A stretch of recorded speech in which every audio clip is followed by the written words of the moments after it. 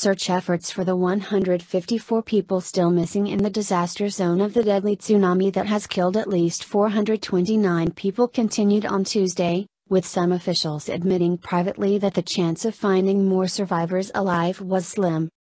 At the Tanjung Lesung Beach Resort, where the pop band 17 was performing when the tsunami struck, resort director Kunto Wijoyo told The Guardian he spent Sunday morning helping to carry some of the 106 bodies of people who died at the holiday retreat.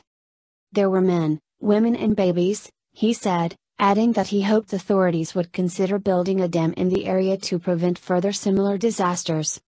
A grass lawn nearby was strewn with crumpled metal that had formed the band's stage, with half destroyed musical instrument cases lying among the wreckage.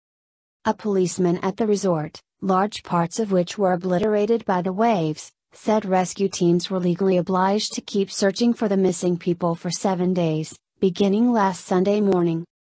Soldiers combed the coast, flying drones overhead as torrential rain contributed to tricky driving conditions for ambulances ferrying injured people to local hospitals.